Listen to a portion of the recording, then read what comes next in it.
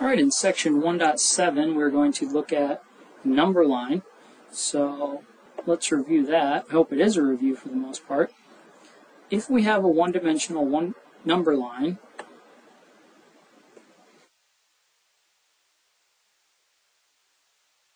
the center is 0, and anything to the right of that are positive numbers. Anything to the left of 0 are negative numbers. And the key to this is, as you go left to right, the numbers get bigger.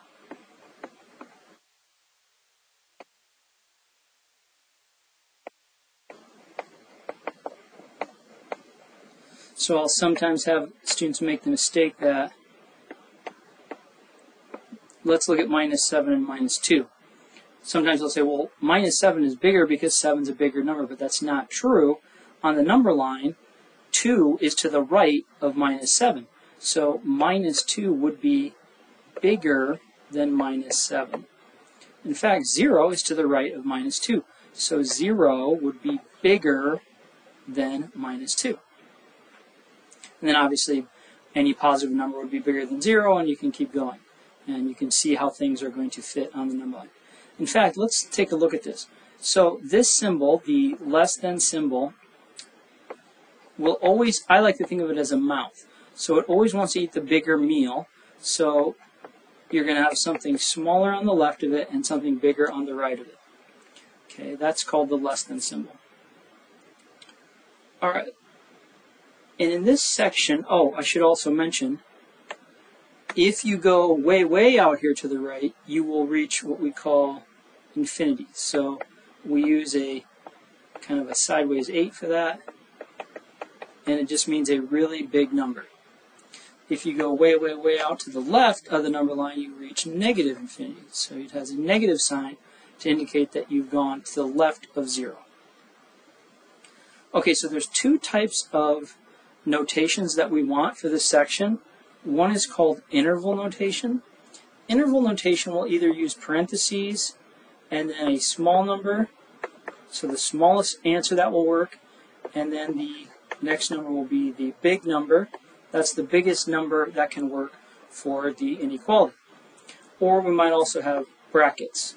So, and we'll kind of talk about each of these as we go what's the difference between using brackets and parentheses. But that's interval notation. And we always write left to right, small, big. Then we have set builder notation. Set builder notation is going to have, it has wavy brackets, and it starts with x. So this says x can be anything.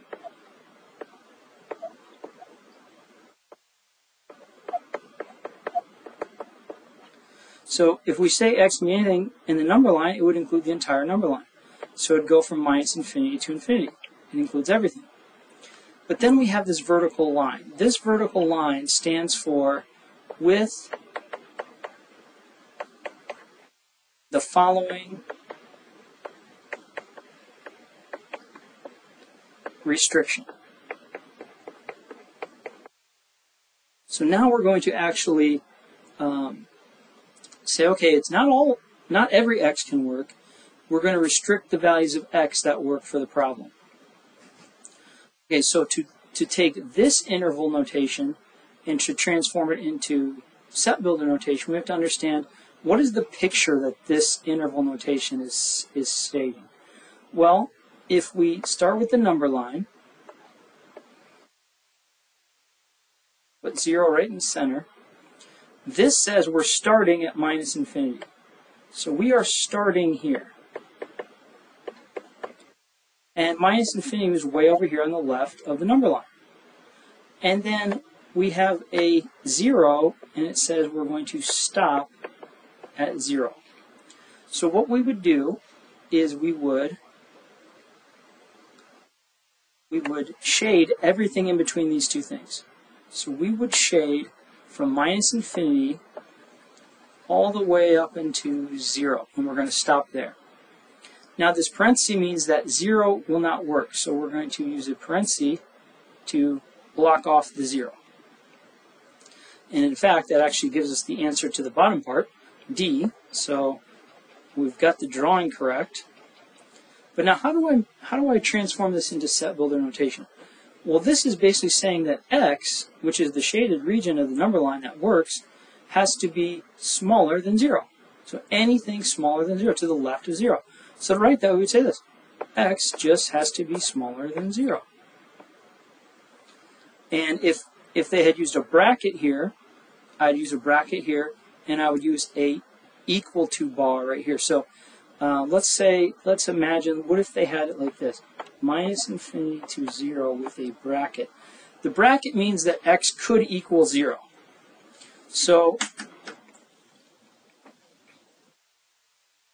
so in this case, we would have had um, x has to be less than or equal to 0. So that's the difference. A bracket will get this equal to bar and vice versa. So if I, in future problems, if I have this equal to bar, we'll use a bracket to contain our x values. Okay, problem two is really similar. It says we are starting at minus infinity, and then x will stop at 5.1. So if we were to draw this, 0 is right in the center, and 5.1 will be somewhere to the right of 0 because it's positive. And this says we're starting at minus infinity, minus infinity, which is way over here to the left, and we are going to shade everything from minus infinity all the way up until 5.1, and we use a parenthesis here, so we're not going to include 5.1. So we use a parenthesis to block it off. Give us our answer for the bottom part. Looks like C is going to be it. And just like before, in Set Builder, we're going to say x just has to be smaller than 5.1. That's how quick these can go. Uh, let's show you what these would look like in um, interval notation. So this one would say we're starting at 5.1 and we're going to positive infinity. So this would be the case that x is bigger than 5.1. This one is all real numbers, so it would be minus infinity to infinity. And it would show up um, like this in Set Builder. This one's the one we had. D, this one's interesting. It's pretty close to what we had. This would be I start at minus infinity and I stop at 5.1, but it has a bracket. So in set builder notation, it would be x is smaller than or equal to 5.1. This one starts at 5.1 with a bracket and goes to positive infinity, or it's x bigger than equal to 5.1. So notice the difference in these symbols here. Less than, greater than. This one's interesting. This is all things work except for 5.1. So we use this symbol here. This is not equal to.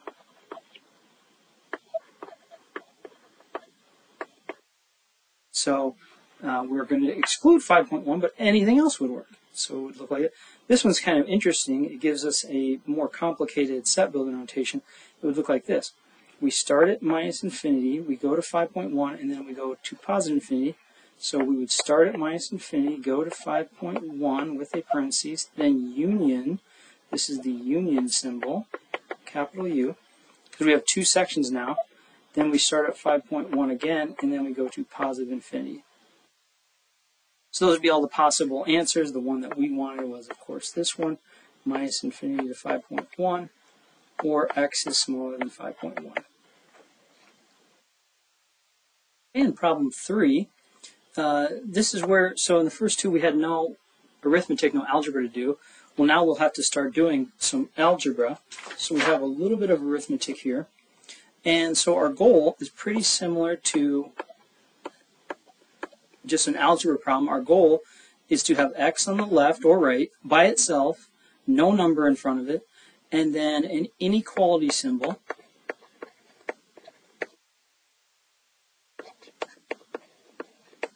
So there's five possibilities, less than, less than equal to, greater than, greater than equal to, or not equal to. So one of those five symbols, and then just one number on the right. That's our goal. And just like before, one of the first lectures I talked about, you can do anything you want to the left side as long as you do the same thing to the right side. So we're just going to account for all of our moves and make it sure it balances, and then um, we should get the answer. So if we look at a problem like 3, the first thing we're going to want to do is get rid of that negative 8. To get rid of a negative 8, we add 8 to the left side. But if I add 8 to the left, I have to add 8 to the right. And then we have, let me write it over here, 3x, 8's gone, greater than equal to 18. Now we say this 3 is being multiplied into the x. To undo multiplication, we use division. Divide by 3, divide by 3. Notice how I'm doing the same thing to both sides. We're left with x greater than equal to 6, and now we have it in our we have our goal complete. We have x by itself, no number in front, the inequality symbol greater than or equal to, and then one number, 6, on the right. And in interval notation, so notice this is set builder, they want interval notation. Interval notation is either a parentheses or a bracket. The smallest x can be, the biggest x can be, and then either a uh, parentheses or a bracket. So uh, you could have four different possibilities here, depending on how the parentheses and brackets are um, mixed together. So we would have, um, in this one, because of this equal to bar, there is going to be a bracket. But let's look at this one on the number line. So this says x must be bigger than or equal to 6. So we are going for bigger numbers than 6. So the answer to the picture is A. And once you have the number line, that's when you should go back and do your interval notation because all you have to do is record what you see left to right. So the first number you see is 6 with a bracket. So the first thing I write is 6 with a bracket. And then it's going to go until positive infinity. So this arrow indicates it keeps going. So the next thing I'm going to write is infinity. Now with infinities, you always use parentheses. So you don't have to ever think about this. Minus infinity gets a bracket. So if I'm starting it to the left, it gets a parentheses. And if I have positive infinity on the right, you also use a parenthesis. So it's always parentheses for those infinity symbols. And that's it. So just a few algebra steps and we would have the solution to this one. Okay, problem four is pretty similar, but we have a negative number. So we have negative 3 being multiplied into x. So to get rid of that minus 3, let's uh, do this down here. We have minus 3x less than equal to 12 and we are going to divide by negative 3. So divide by negative 3, divide by negative 3. And this is the only rule we have to remember, and it's, it can be tricky sometimes, but if you multiply or divide by a negative number,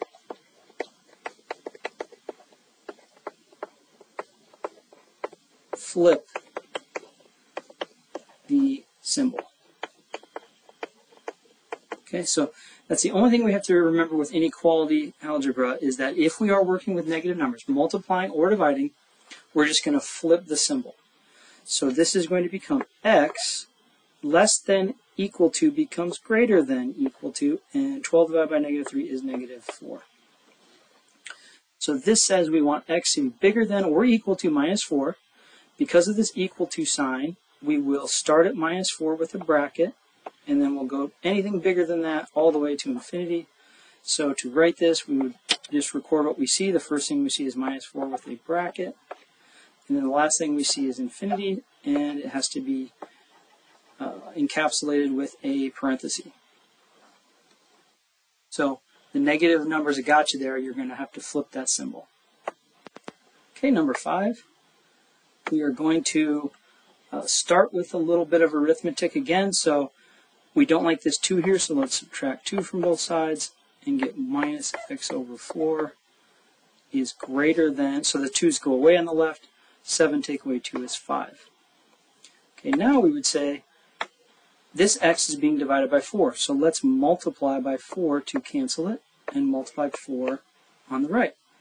So these 4's on the left cancel. You're left with minus x is greater than 20. And notice, I multiplied by positive 4, so I'm not flipping anything because that was a positive multiplier. But now we look in here and say, okay, I've got really minus 1 times x. Minus 1 times x. To get rid of that minus 1, we divide by minus 1. But if I divide the left by minus 1, I divide the right by minus 1. And since now I'm dividing by a negative number, we're going to have to flip that symbol. The minus 1's cancel. You flip the symbol to less than, and 20 divided by 1 is 20 with a minus now because of this minus there. So this says x should be less than minus 20. So we start at minus 20, and less than would mean to the left, and it's unbounded, so it's going to go to minus infinity. So now that I know that E is the right picture, I can fill in the interval notation. First thing I see, left to right, is negative infinity. The next thing I see is minus 20 with a parenthesis. So again, you record these left to right just by looking at your number line drawing. Okay, in problem six, we're going to introduce now a compound inequality. So compound inequalities have more than one inequality symbol. In this case, there's two, two less than symbols. And so what you get is you get a left-hand side, some inequality symbol, you get a middle, some inequality symbol, and then you get a right-hand side.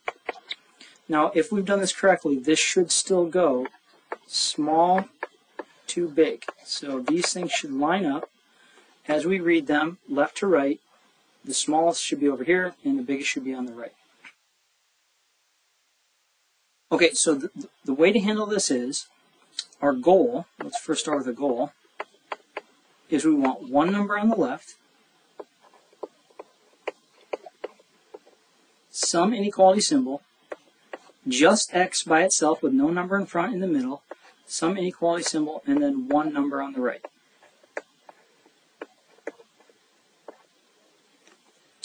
So that's our goal, and the same rule in algebra is going to apply. So we're going to start with the middle.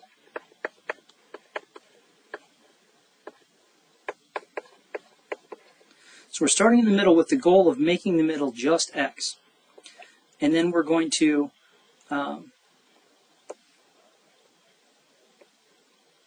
do anything we need to.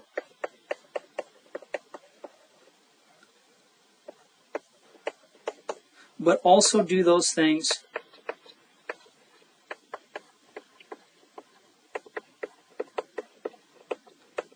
to both left hand side and right hand side.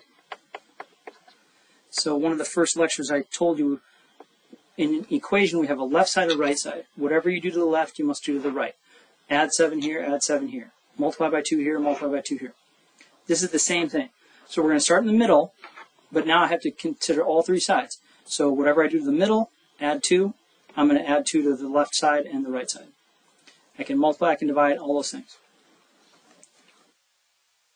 So we look at this one and we would say, okay, there's a plus 3 in the middle that we don't want. All we want in the middle is that x, so we're going to get rid of that 3 by subtracting it.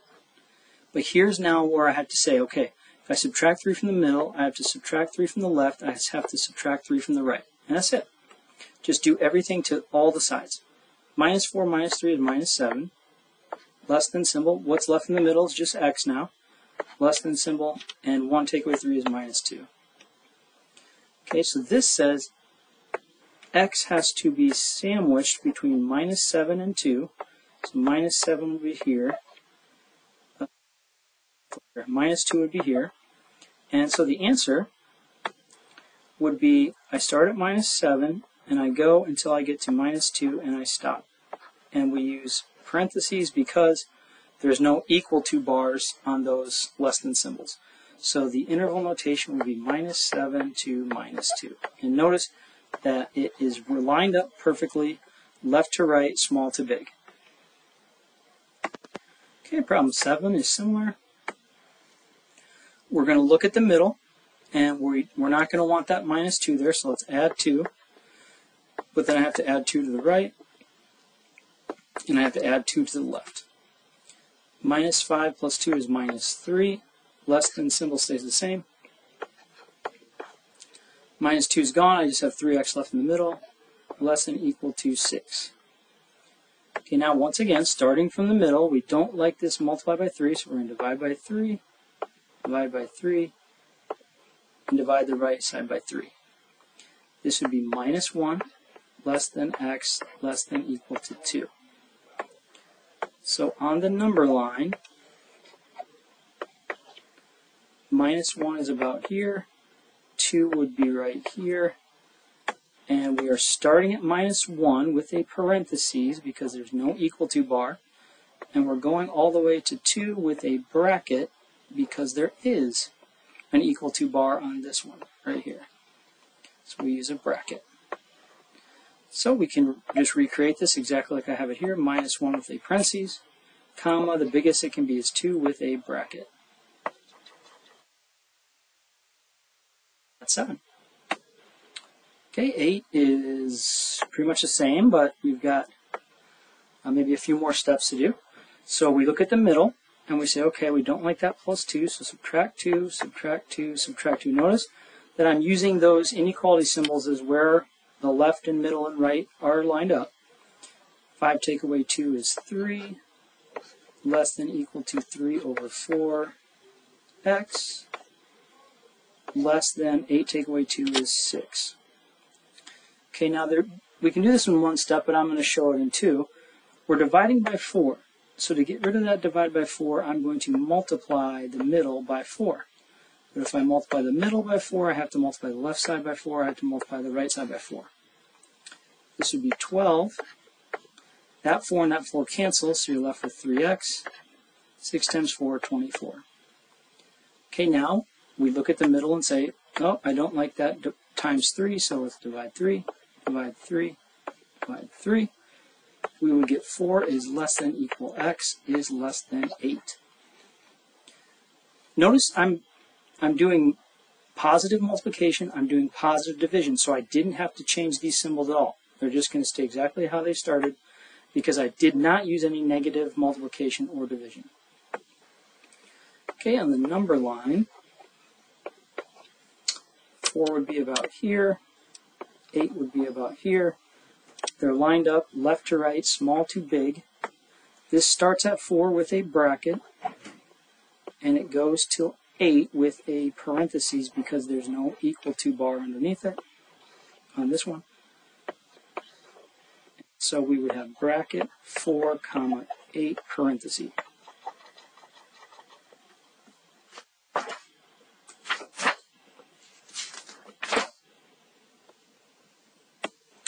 Okay, 9 is really similar to something we saw in maybe a section or two back. And that is um, a section or two back, we said, okay, if I have x in an absolute value symbol, and it's equal some number, let's say 9, then we have to set up two equations. One is that x equals 9, and then the second one is x equals minus 9. So we said, okay, set up two equations, one where it's equal to the positive number and one where it's equal to the negative number. For inequalities, you do the same thing. So let's say we have x less than some number k, you're also going to form two equations. One where all you do is drop these absolute value bars and have it exactly the same. x less than k, x less than k. The second thing is you draw, you keep the left-hand side the same, but now you flip the symbol and make k a negative. So that's how we're going to handle these absolute value inequalities. We're going to set up two problems, one where it looks exactly the same, and then one where we flip the symbol and change the sign on the number. So for this one, we would have 4x plus 4 over 3 less than 8. So notice that looks exactly the same as the starting point, just without those vertical bars. Then we're going to simultaneously solve 4x plus 4 divided by 3 is greater than minus 8. So notice we flipped the symbol and we changed 8 to minus 8. And now we solve them both simultaneously. So the first thing we're going to do is the left's being divided by 3. So to get rid of that 3, we're going to multiply by 3. But if I multiply the left side by 3, I have to multiply the right side by 3. Now the nice thing about these problems is the steps will be exactly the same. You're just doing them twice. So if we did multiply by 3 in here, you multiply by 3 here, multiply by 3 on the far right side. These 3's will cancel. You're left with 4x plus 4 less than 24. And the 3's will cancel here and get 4x plus 4 greater than minus 24. Okay, then we come in here and say, I don't like that plus 4, so subtract it. Don't like that plus 4, so subtract it. We would get 4x less than 20 and 4x greater than negative 28. Last step, multiply by 4, so divide by 4. Multiply by 4, so divide by 4. x less than 5, x greater than minus 7. Notice all my steps here, the, the multiply steps and the divide steps used positive numbers. Positive 3, positive 4. So because those were positives, I don't have to flip any symbols, other than the initial flip just to set up the problem. So let's see in the number line what this means. We would have minus 7 is over here, positive 5 would be somewhere over here, and 0 in the middle. Okay, so this one says x should be smaller than 5. If x is smaller than 5, we're going to cap it at 5, and we want to go left, smaller than that. This one says x should be bigger than minus 7. Bigger than minus 7 goes to the right. So we are going to want to shade everything in between these two. We use parentheses because there's no equal to bars on these inequalities. So in interval notation, we start left to right at minus 7, and we stop at 5, both having parentheses. Okay, in problem 10, it's kind of deceptively simple, but it's it is going to require a little bit of thought. So it says x bigger than 5. So just like before, we're going to have two equations. One where we make x bigger than 5, and the second one where we make x smaller than negative 5. So again, we set up two things. One looks exactly the same. We just drop the vertical bars. And the second one, you flip the symbol and you make the number a negative. You flip the sign. So if 5 is positive here, it becomes negative there. Okay, now there's no algebra to do. There's, we've already got x number, x symbol number, x symbol number. So the last part of this is to put it on the number line.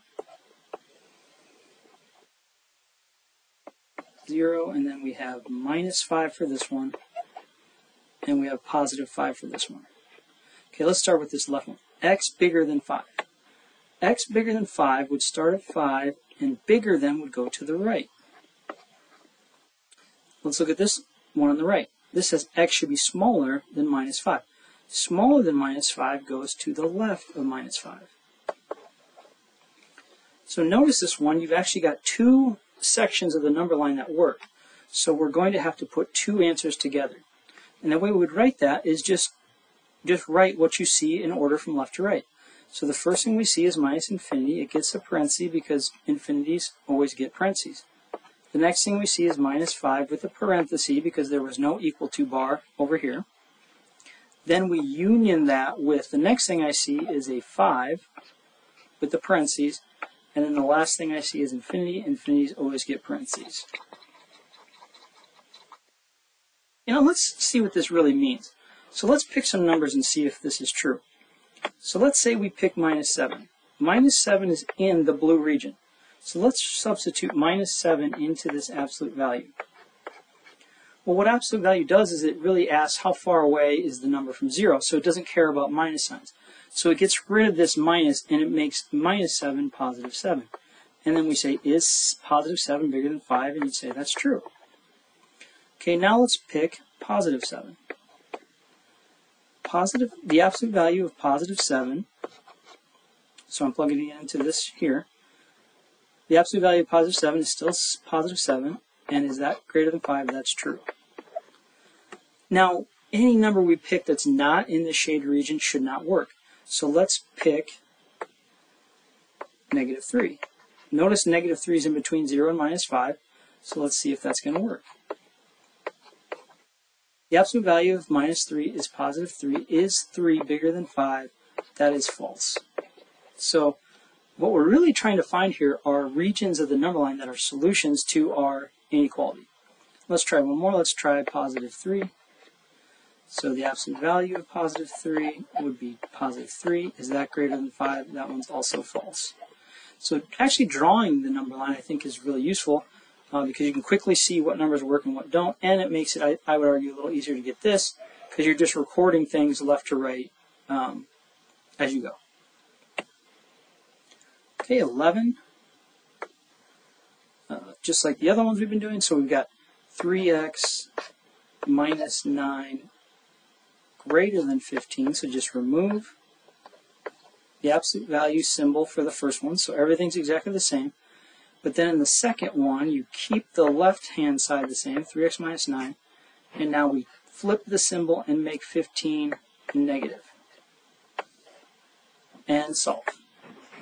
So let's first add 9, add 9, add 9, add 9.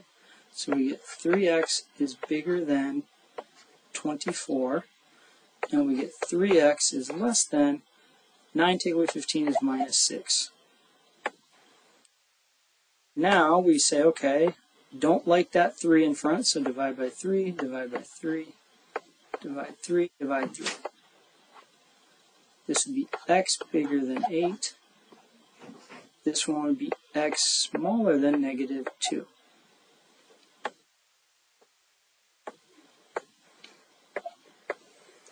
Draw your number line. Minus 2 is the smaller of these two numbers, then the next number is 8. This one says x bigger than 8. So we start at 8 with a parentheses, because there's no equal to bar. Bigger than 8 would be to the right of 8. This one says x should be smaller than negative 2. So we start at negative 2. Smaller numbers than negative 2 are to the left. And now that we have this, we can record left to right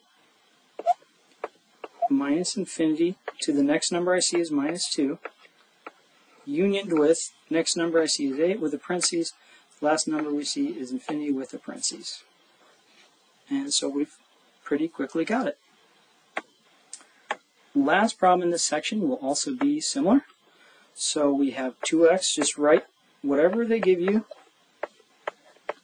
same symbol, everything's the same except for the vertical bars, the absolute value bars are gone. Then, keep everything the same on the left. But now, flip the symbol and change the sign of the number. So if it's positive 4, make the second one a negative 4. And we solve. So the first thing we're going to do is we don't like to divide by 7. So let's multiply instead by 7. And we're going to do the same on left and right for both sides. These 7s will cancel. 2x plus 8 bigger than equal 28. 2x plus 8 smaller than equal to minus 28. Now, we don't want a plus 8 here, so we're going to subtract 8, subtract 8, subtract 8, subtract 8. 2x should be bigger than equal to 20 2x should be smaller equal to minus 36. We don't like to multi we don't want this 2 in front, so we divide it out. Divide by 2, divide by 2, divide by 2. x should be bigger than equal to 10. x should be smaller equal to minus 18.